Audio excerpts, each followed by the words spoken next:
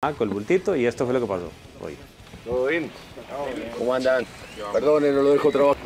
¿Cómo andan? ¿Todo bien, profe? ¿Todo bien? Bien, por dicha. ¿Y ese grupo cómo está? Bien, bien, ahí estamos. Bien, bien, bien. Acomodándonos. Son, son equipos que tienen jerarquía individual muy buena, muy buenas capacidades.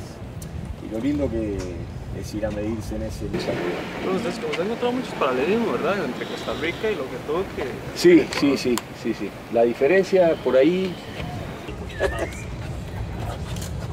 Yo, yo no la puedo trabajar. ¿Sabes lo que pasa? Que yo no la puedo trabajar. Yo acá en 10 días no lo voy a cambiar. Un trabajo físico que hay que hacer necesita entre uno y dos años, depende del biotipo que sea. En 10 días no lo voy a cambiar.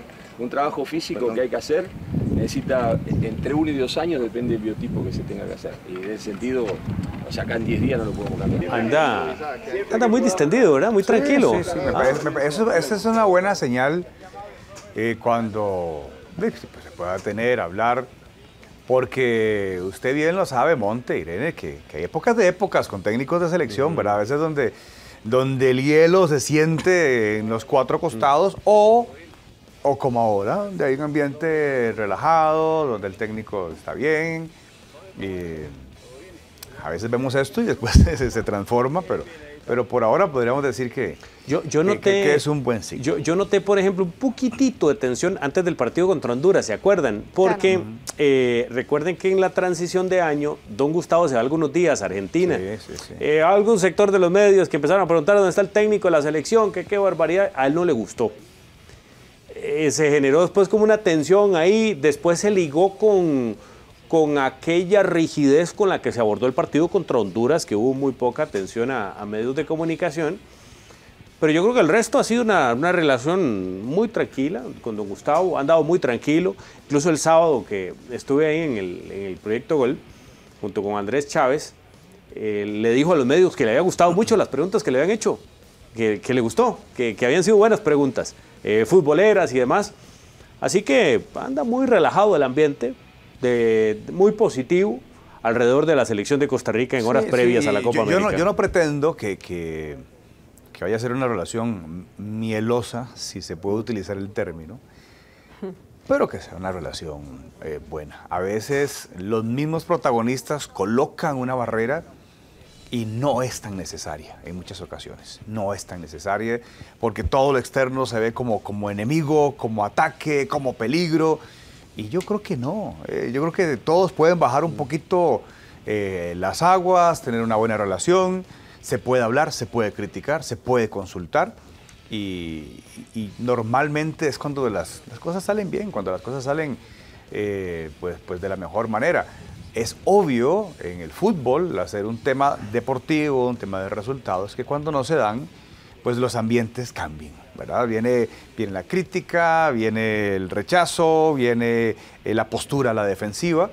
Entonces hoy diría que es una posición buena, digamos que normal bajo las circunstancias de que se clasificó a la Copa América, los dos partidos de eliminatorio. Ojalá y se mantenga, incluso momentos en que no sean tan buenos, eh, porque ayuda cuando una relación fluye, aunque no existan las mismas ideas, o aunque, o aunque exista una crítica, es bueno que fluya una relación de respeto y que eh, y, y que haya cercanía. Nosotros criticamos un poco el tema antes del partido con Honduras. Recuerdan que no hubo atención a medios, que se cerró la selección por muchos días. Al final, esto es un espectáculo, es un deporte y la selección hoy, o federación, los equipos, necesitan también que se divulgue, que se hable del tema y cerrar, pues, mm, no crea quizás el mejor ambiente para algo que usted quiere promocionar, que es un evento, que es un partido, que es la selección, que es la compra de entradas, que es la venta de camisetas. Y cuando es selección, además, va un poco más allá porque, porque es el sentimiento de un país. O sea, arrastra mucho, hay ilusiones y yo creería que, que, es bueno. Ojalá y hemos visto cambios y estamos viendo algunos cambios importantes en esta nueva Federación de Fútbol. Sería muy bueno si la relación prensa, afición, técnico, jugadores, eh, pues es llevadera. Eh, reitero que esto no tiene que ver nunca ni coartar eh, a alguien con su pregunta, ni acomodarse de una posición con respecto a la selección, pero por lo menos que haya acceso, accesibilidad y, libertad. Así que yo creo que, que me parece positivo. De hecho, ahí en los videos que, que veíamos, incluso también que compartía Andrés Chávez, él decía que habrá momentos, y es claro en eso, habrá momentos donde la selección eh, sea un poco más hermética y momentos como estos donde podemos hablar. Evidentemente el contexto ayuda bastante y no nos vayamos muy lejos. O sea, el, el técnico anterior, eh, la relación era completamente diferente. Incluso en un momento las conferencias de prensa se volvían bastante tensas y las respuestas pasaron de ser extendidas a monótonas. O sea, a, a monosílabos, perdón. Entonces yo creo que sí, sí es buena esta relación, que va en función mucho, eso sí, de los resultados. Sí, bueno, va- vamos a ver, creo que hay unas declaraciones de don Gustavo Alfaro después de esto. Sí, sí, sí, sí. La diferencia por ahí más grande es que es por el biotipo. Eh, el ecuatoriano es más fuerte, o sea, el- nosotros cuando los nivelamos en un momento nosotros teníamos que jugar con, con Senegal.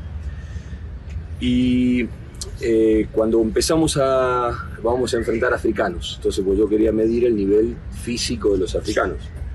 Y el ecuatoriano estaba a la altura del nivel físico del africano. Entonces ahí donde te da la pauta de, o sea, siempre que te dicen los equipos africanos son muy fuertes físicamente y todo lo demás. Y el ecuatoriano, ese biotipo estaba a la altura de- del africano. Entonces el tema era que ellos se sientan capaces y que puedan competir en un plano de igualdad, porque las capacidades físicas y las capacidades técnicas las tenían. Y acá de pronto las capacidades técnicas las tienen, las capacidades físicas las tenemos que mejorar. Y yo digo que también, porque no es imposible. Ahora, el tema es que hay que hacerlo. Y si nosotros podemos hacer eso, ahí donde Costa Rica para mí puede competir a la par con cualquiera. Totalmente improvisada. nada Sí, sí, sí, sí. Era charlar con ustedes y bueno, que se queden cómodos, las puertas de la selección están abiertas. Disculpen si en un momento tenemos que cerrar, pero esto es así. De la misma manera que yo miro todos los medios del, del otro lado a ver qué hacen para ver si uno puede sacar alguna información en ese aspecto. Pero para nosotros ustedes son parte del proceso también. Bueno, muy bonito. Y esta es la lista de sparring. Sí. Recuerden que, eh, bueno, aquí estuvo hace ocho días don José Maroto, el presidente de la federación, y esto ya lo había anunciado previamente, que iban a recortar alrededor de 100 mil dólares anuales en gastos de bolsillo para dirigentes y con esto llevar jugadores de cierta proyección con la selección mayor de Costa Rica. Más que todo torneos oficiales. Me parece que cuando sean visitas así como muy rápidas, por ejemplo la del fin de semana a, a Granada y demás, no, no se va a ejecutar.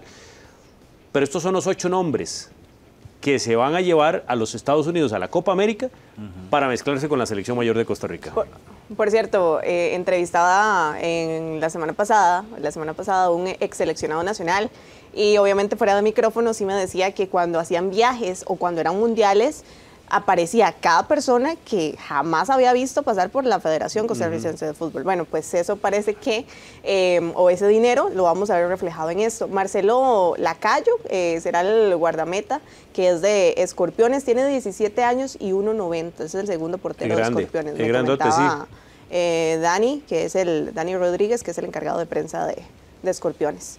Sí, está en la sub-17 creo. Está en la sub-17, sí.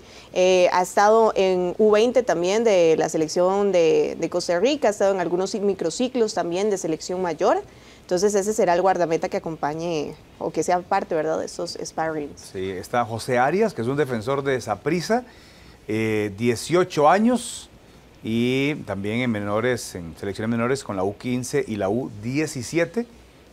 Y el que sí conocemos es el Joseph Peraza. Es más, es el único. Es el único. sí. No, es el único así eh, que, que se conoce, eh, es Peraza. Ellos sé que oriundo de la Palmera de San Carlos. 19 años, que jugó toda la temporada con San Sí. Carlos. Se perdió un partido nada más por la acumulación de cinco amarillas y después de ahí jugó absolutamente eh, todo. Eh, estuvo convocado para el partido con Uruguay, no jugó, pero, pero estaba ya en el grupo ahí José Peraza. Eh, hay dos jugadores que tienen una particularidad. Este muchacho, Benjamin Gray, que él juega en Estados Unidos, que es parte del escauteo que han implementado con Claudio Vivas para encontrar jugadores ticos en Estados Unidos. Mm, De hecho, en New Jersey han hecho campamentos y toda la cosa. Sí, que de hecho, perdón, eh, Claudio Vivas presentaba toda una lista que tenía de escauteo, incluía eh, esa gira que hizo por Estados Unidos. Y el otro es este muchacho Sean Albritton, que Albritton entiendo que él nace en, en Dallas, en Texas. O sea, él, él nació en los Estados Unidos, es delantero, ya estuvo con Eric Rodríguez en la selección sub-17, en paz descanse, que ya lo había llevado. Ariel González es del Herediano, estuvo lesionado un buen tiempo, pero la, mayoría son jugadores menores de 17 años, algunos. Y este, este muchacho, Gianpaolo Dixiola, que aparece acá, el único volante que aparece del Herediano, este muchacho es ítalo-venezolano. Estaba leyendo incluso que en Venezuela le han puesto el foco porque hasta se ha hablado de la posibilidad de que el, de que el muchacho sea convocado por la Vinotinto. Bueno, aquí Costa Rica como que lo que quiere es como adelantarse y ver si, si gana terreno con él, pero podría sí, podría estar en foco también de la selección de, de Venezuela. Él llegó acá, entiendo que como con 10 años a, a Costa Rica. Y este Gianpaolo Dixiola, a- ahora estuve buscando algunas referencias de la gente del Herediano, me hablan muy bien de este, de este jugador de características muy técnicas, típico 10, que lo van a llevar con la selección a ver qué, a ver qué pinta. Sí, y el menor es David Garro, este eh, delantero de Saprissa, 16 años apenas.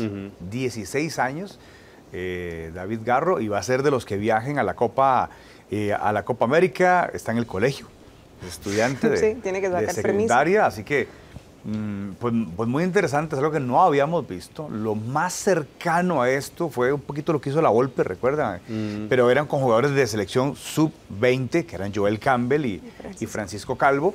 Hoy estamos hablando de, de futbolistas todavía menores, a los cuales Alfaro quiere llevarlos como lo que se ha llamado sparring, eh, ¿verdad? que entrenen con la selección, que sirvan para los colectivos, pero bueno, se van a ir, va- va- van a ser eh, parte del grupo, o sea, en condiciones, en todo, van a ser parte de la selección nacional y pues va a ser una vivencia yo creo que extraordinaria para ellos. ¿Saben qué noto?